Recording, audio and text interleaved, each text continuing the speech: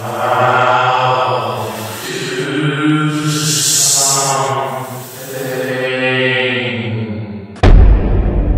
the last 30 days, Valve has started trying to fight against the hacker bots.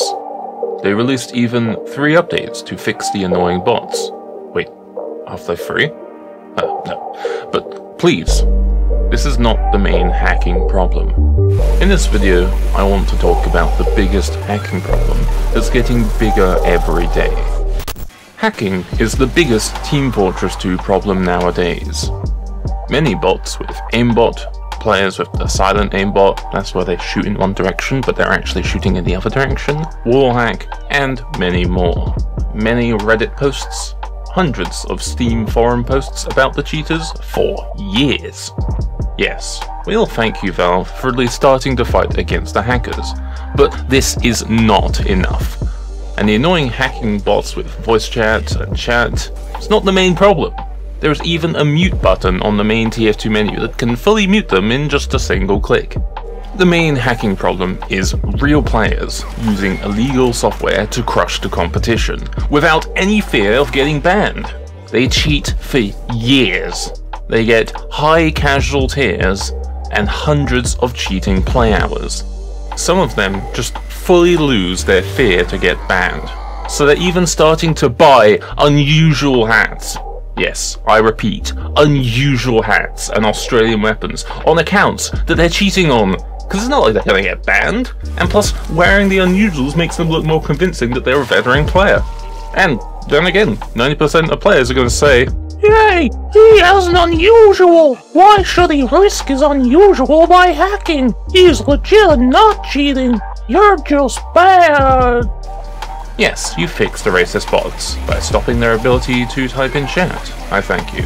But there's still a lot of racist, real players with hacking software, and they can type and talk anything because they're not free to play.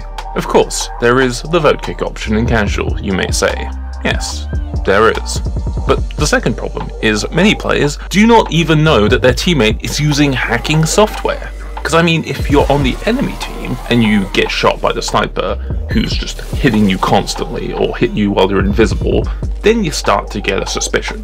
But if you're on their team, you're going about your own business, you're on the other side of the map, you're helping somebody else. Unless you see it happening a lot, or you see people complaining, or it just happens in front of you, you're not going to get any suspicion about it. 90% of players think that a cheater is a guy that spins like this and kills the whole team only as a sniper. But TF2 hackers today may use aimbot for any class, even projectile aimbot on soldier. They may use auto backstab, and 90% of these players will go, he's not cheating, when an experienced player is going to ask them to kick the cheater. Many regular players even believe that if they use hacks and they don't get VAC banned, then they're legit. What a joke. VAC doesn't even exist, basically. Or there's even a hacker party, and they're cheating in four to six players that prevent the other players from kicking them. Because the only system we have, because having VAC ban, imagine having VAC ban, the only system we have of voting, and if they have a bunch of people all cheating, they can just vote down the vote. what are we meant to do? And now, I will say, no, I will talk loudly. Valve, do something with the aimbotters already. They're playing safe, they're carrying unusuals and expensive items while using the hacks, and VAC doesn't ban them. In every casual game we have at least one hacker.